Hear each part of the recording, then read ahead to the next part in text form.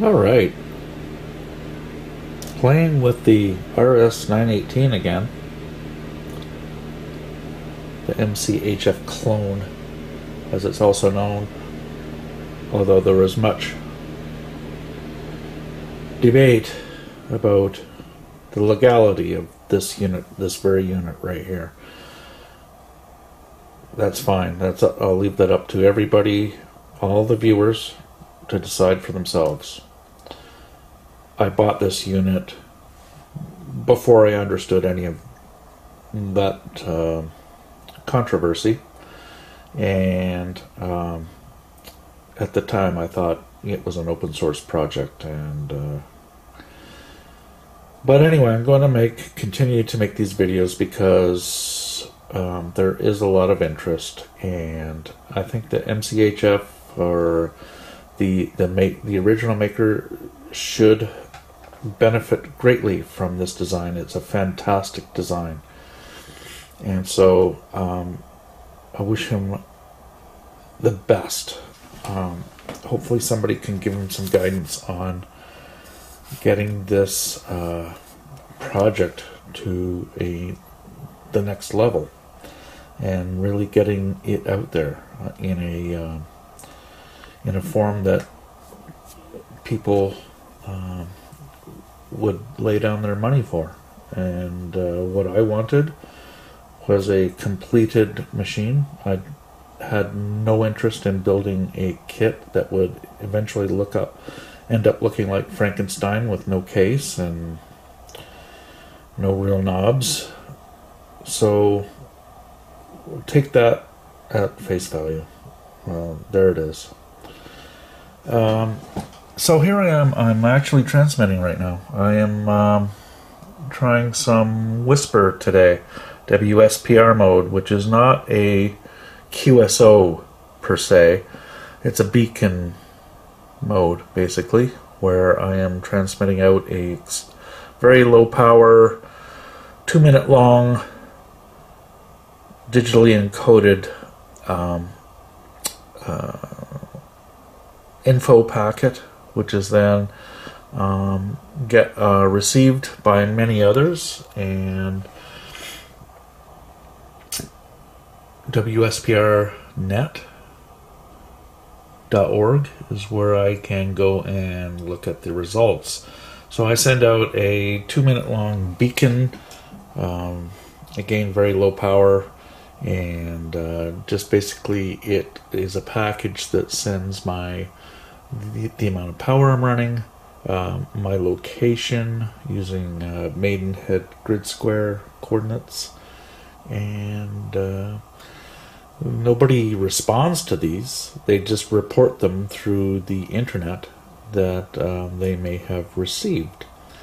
And so, um, with Whisper, you generally transmit, you know, once every, I don't know, couple of minutes or uh, several minutes. Probably you transmit. I'm transmitting, I believe, at about 20% of the cycles that go along, and each one is two minutes long. So, uh, and then the other time is spent listening on the frequency and reporting uh, reception to those users that I have received their uh, uh, data package, so to speak. So, um, here's my results so far. I'm still transmitting. You see the TX light there. I'm still transmitting this particular sequence.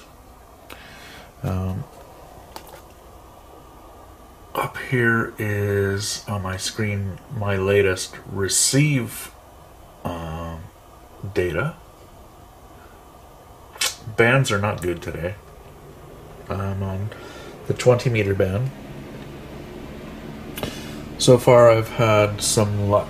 Let me just zoom in here.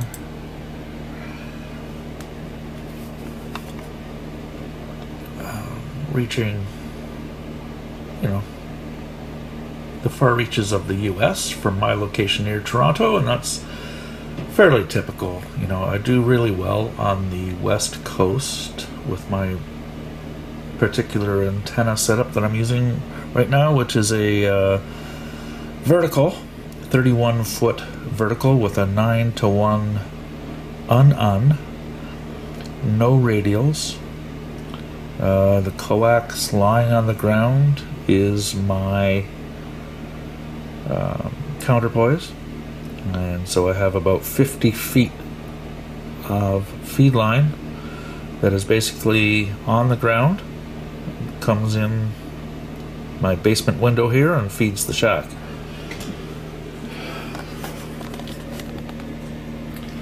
Still transmitting. Let me come back to this. I'm receiving right now. And you probably don't hear much.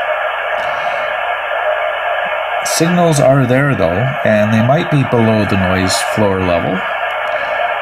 And that's fine. Whisper is able to pick out signals, much like FT8, below the noise floor level. And so um, the computer is hearing it, even though I can't hear it or you can't hear it. Radio here reminds me of my old uh, KX3 and the way it kind of sits on the desk here. Uh, KX3 is obviously a uh, probably a much finer radio, but um, this thing has the visual bells and whistles. Um, uh, so here is the uh, antenna connection. I, I'm using an angle connector. One single USB cable to do all of the cat and the audio in both directions.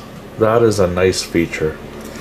And power. So that is it to uh, connect this. I think my KX3 required, you know, audio in, audio out, cables. It was, when you got it all set up for uh, digital, was kind of a big spaghetti mess of cables.